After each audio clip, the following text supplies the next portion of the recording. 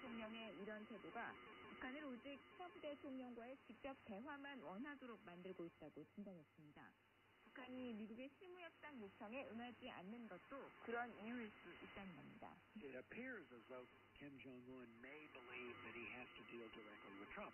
And the problem is, all of Trump's advisors will tell him, don't have a third summit meeting unless 세이머 전 조정관은 트럼프 대통령의 보좌진 모두 뭔가 발표할 수 있는 게 없다면 북한과의 3차 정상회담을 갖지 말 것을 조언하고 있다며 이를 협상이 지연되는 이유 중 하나로 꼽았습니다.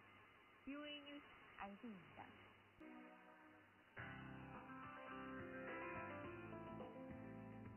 저희 VOA 방송은 휴대전화 모바일 사이트를 통해 여러분 곁으로 더욱 빠르게 다가갑니다.